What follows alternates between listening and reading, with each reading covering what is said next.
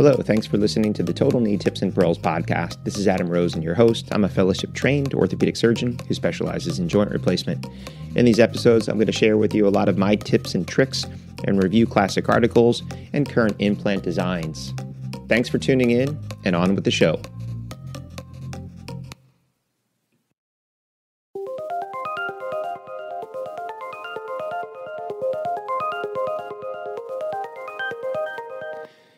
Welcome back. This is Adam Rosen, and you're listening to the Total Knee Tips and Pearls podcast. So, today's episode, I just want to try to clear up um, some confusion that I've heard from certain students um, or residents uh, or fellows when they're trying to understand or grasp the idea of anterior referencing and posterior referencing. Um, you know, knee, knees can get really confusing. You know, we talk about a total knee and you know, you start to talk about the different approaches, but then you talk about cruciate retaining, cruciate sacrificing, posterior stabilized, and then you start to get into measure resection, gap balancing, kinematic alignment, and then referencing. And, and it gets a little overwhelming because I think in the beginning, if you don't understand the lingo, sometimes it's it's really overwhelming to try to piece together you know, okay, down this particular path of this surgeon with this knee, like what system I, am I using? What poly am I using? How are they balancing? And for a lot of surgeons, um, they may have a very cookie cutter way, but for other people, like for me, I kind of use a little bit of everything, and and that I think is an advantage if you understand um, those little things and you can make changes based on someone's anatomy or what you hear me talk about a lot of times is the personality of the knee. You know we talk about the personality of a fracture but i think when we're looking at an arthritic knee who's going to have a knee replacement there's definitely a personality to each knee and you have to take that into an account. You know every varus knee is not a varus knee and every valgus knee is not a valgus knee. Um, but i think a lot of times people get overwhelmed at the terminology um, and more importantly if you don't understand the terminology and you don't understand the steps and the mechanics, that's where you're a lot more likely to make a mistake and get somewhere where you're not really sure how to get out of the hole that you've created. Um, so, anterior posterior um, and and i've done both um, but predominantly now um, i'm a posterior referencing so um, anterior referencing, just let's talk about basics, right? So, anterior referencing, you're referencing off the front or the anterior aspect of the femur. And posterior referencing, you're referencing off the back or the posterior aspect of the femur. So, we just want to start there. When you do an anterior referencing, um, different companies have different techniques, and there's a few different ways to go about doing it. So, typically, um, you'll use a stylus to mark out that anterior cortex and make your cut um, to be flush with the anterior cortex. And we've all seen these x rays. So, whether or not you use navigation anterior posterior referencing, we've all seen those x rays where the implant looks totally flush with the cortex, where it looks like it's sitting high or anterior. And there's other times where it's notched. And sometimes it's flexed and sometimes it's extended. So, you have to understand that that femoral component position can occur with any of those techniques. Um, it all depends on how you use the technique and the operator. And I'm going to try not to go into a ton of detail because I think it's going to make this discussion more confusing. But again, with each of those things, we're also, um, when we talk about referencing, we have to talk about flexion extension. We have to talk about rotation, you know, whether or not you're using the epicondylar axis or Whiteside's line or postercondylar axis. So I'm not going to try to go too deep into that in this talk. But when we talk about anterior referencing, you can make a skim cut. So basically, you can reference the front of the femur and you can make a skim cut. And then you can size off of that skim cut using the posterior condyles and the anterior skim cut because a lot of implant systems aren't necessarily cut at 90, right? So your distal femur and your anterior cortex aren't always cut at 90. And sometimes I think people are kind of amazed if they get into navigation and someone's talking about cutting in three degrees of flexion. Um, there are some instruments, if you're using IM, that have sort of a curved or bent rod that allows you to flex it. Um, some implants, you know, are there's an anterior flange kicks up at three degrees or five degrees or seven degrees. So it's really important to kind of understand your implant, you know, and understand if I'm cutting more close to perpendicular, you know, what are the chances of me notching? Well, greater if you're in even a degree or two of extension. Whereas if you have an anterior flange that kicks up seven degrees, you know, you're less likely to notch. But also, if you flex your component too much, the most proximal part of the femoral component could be sitting up high in the breeze. So you have to kind of keep all of those things in mind. So anterior referencing, we reference the cortex. You make a skim cut. You measure. You use your four in one cutting guide, and this way you might take up an extra degree or two, or take your chamfer. The benefits of the anterior referencing system is that you're most likely not going to notch. Again, operator dependent, anything can happen. But the idea there is that you're not measuring cutting and then the saw cut anteriorly is causing a notch. You're referencing off that anterior cortex. The other big kind of positive in a lot of people's minds is that if you're resecting um, bone off the front to be flush with the anterior cortex, you're less likely to overstuff the patellofemoral compartment. And again, that comes with a caveat. So we're making it flush. The question is how much bone or how thick was the bone in the trochlea and how much metal are you replacing? And did you resurface the patella? And if so, how much bone did you resect and how much did you add back with your poly? Because that's the true answer to whether or not you overstuffed the femoral compartment. Because if you do enough knees, what you'll notice is that you might be flush with the anterior cortex on a dozen knees. But in each individual, someone has a very thin trochlea and the bone's thin. Somebody has a thick trochlea. You might take 12 or 14 millimeters of bone, you know, and on some, it may be a sliver of three or four millimeters. So the question is because each knee is different, um, I'm not a firm believer that just because you cut flush to the anterior cortex, that you've referenced appropriately to restore the patellofemoral mechanics and haven't overstuffed or understuffed that patellofemoral joint. But that becomes the key. So anterior referencing, reference off the, the anterior femur, the idea to prevent notching, and then sizing.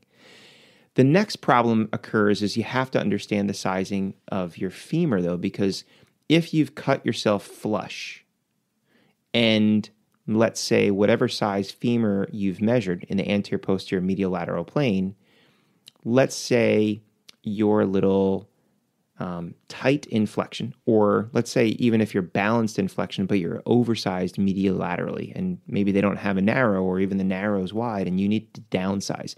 You have to understand that every single time that you downsize your femoral component, if you're using the anterior referencing system, you're increasing your flexion gap space.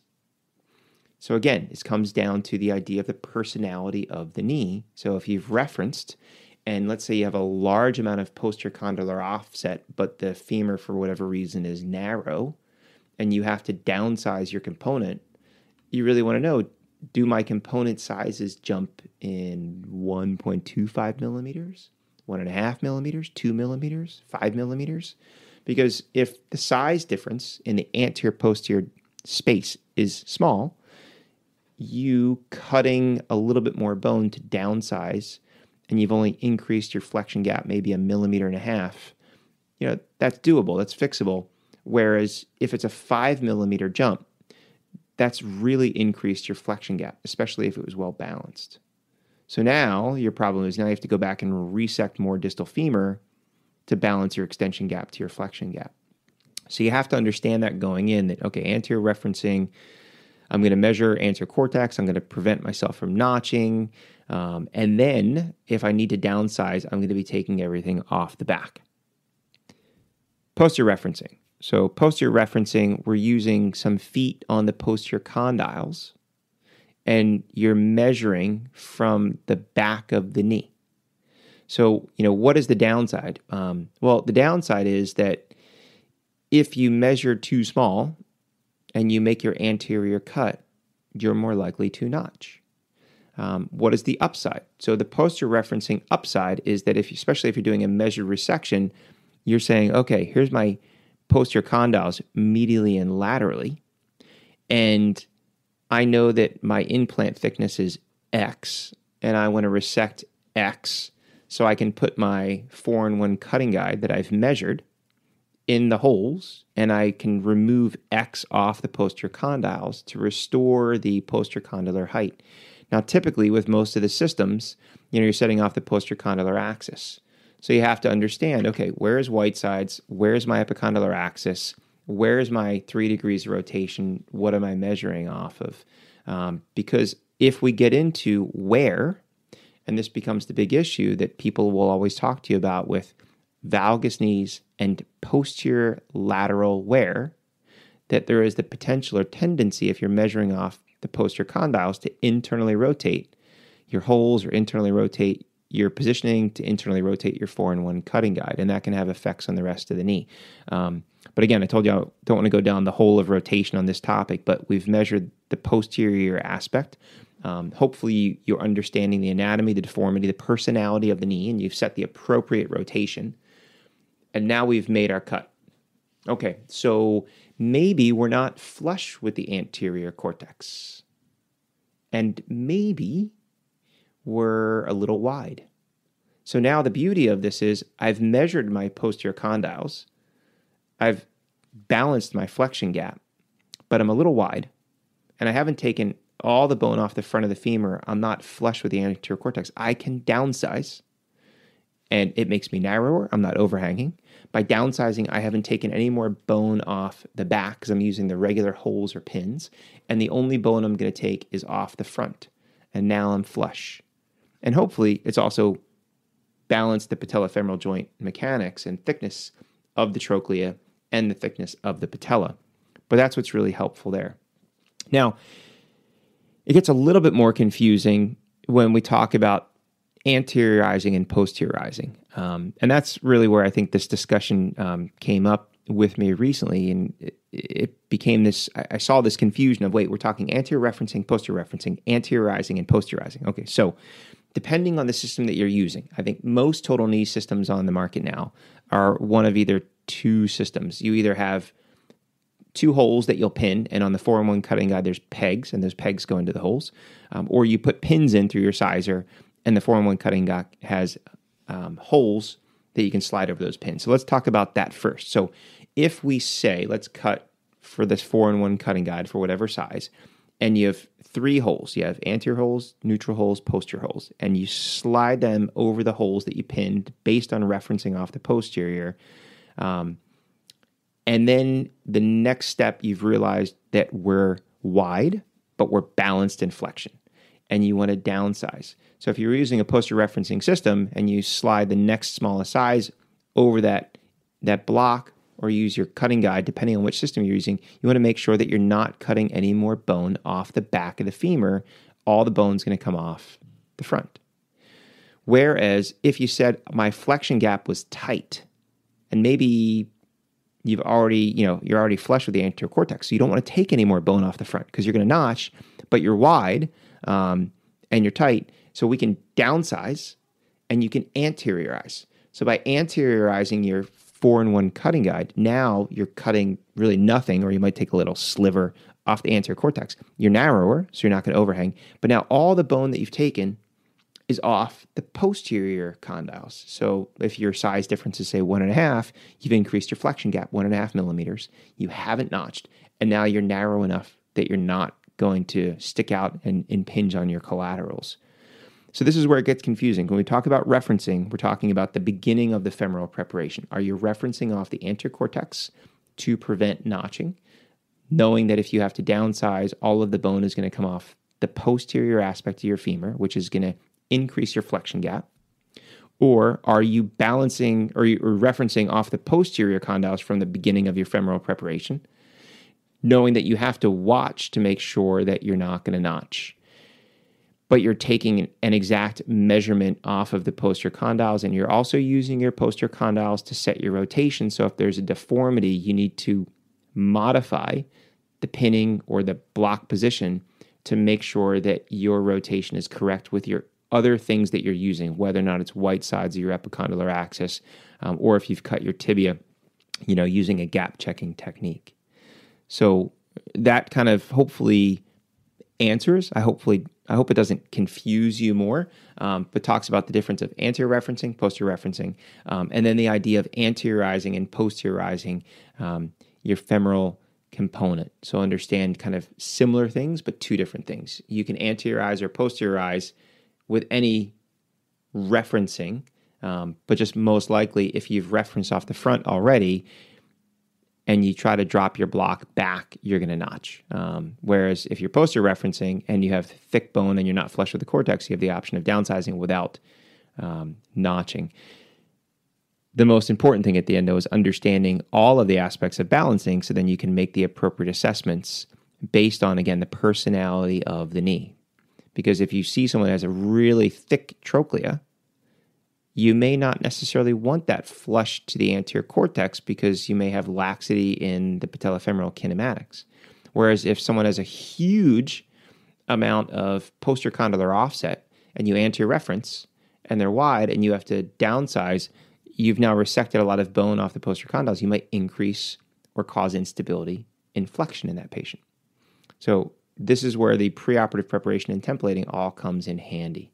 Um, so hopefully again, hopefully, um, this answers some of the questions and didn't cause more confusion. But again, if you have questions, please, you know, shoot me an email, let me know. I'm happy to do other talks on specific topics that you have. I'm working currently on these next two episodes um, that I want you to be aware of because for some of the fellows um, or people in practice or even upper level residents, it may seem a little boring. Um, I think it's still going to become worthwhile information. Uh, it may be great for your medical students, um, interns, and PGY ones and twos, but the group that I'm really aiming this at, um, because I, like a lot of people, you know, sometimes we have difficulties in the patients that get referred without what we see as a very simple algorithmic workup or treatment plan. So I've given these lectures um, in the past, and I've done lectures for primary cares on multiple occasions. And I actually even have a little primer on knees that I actually give out to um, primary care doctors and basically goes through these are all the things that we're thinking about for your routine knee pain consult. These are the workups, these are the treatments, these are the plans, this is the steps. This is when you order an MRI, which is rare, and this is when you refer on to ortho. Um, but what I'm going to try to do is do that in a podcast form. So I'm really hoping to explain it in a way that a primary care um, doctor um, understands. So if you have students that are not going into ortho, that are going to primary care, share this with them. You know, if you have residents in your program that are not in ortho, but part of your institution, again, this may be something that I would recommend that you share with them because it may help the medicine resident, internal medicine resident, uh, emergency room resident have a very good understanding of here's an algorithmic approach of how I diagnose, work up, what tests do I order, how do I treat, and when do I refer for knee pain in the outpatient setting. And then I'm also going to do a spin off of that for the in hospital consultation you know and when do you order tests? When do you withhold antibiotics? You know when do you call ortho? You know what is emergent what's non-emergent? Um, just to kind of give them an understanding of what we expect um, and what makes the patient's care better and more efficient if they can do the appropriate workup and the appropriate test before they call us. So when we go we have all the information in front of us to accurately diagnose um, and then work up and then treat the patient. So look for that in the next few weeks and it may be something very worthwhile, I think, for you to listen to. But I think even more, and my goal is even more important for you to then share with your non orthopedic colleagues. Um, so they have a very good, clear, concise understanding of how to take care of those patients when they hit their office or their their inpatient consultation. So in the meantime, um, stay safe. Uh, I will talk to you next week. Uh, I uh, hope you enjoyed what you've heard today, thanks again for listening. And if you have colleagues that haven't listened to the podcast and you think it would be uh, beneficial for them, uh, please shoot them a link. I'm Adam Rosen. You've been listening to the Total Knee Tips and Pearls podcast.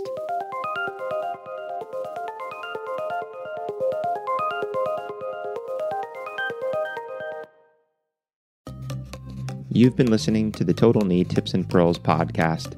Make sure that you're subscribed so you'll be notified of future episodes. And please take the time to leave a review. It helps other people like you find the show.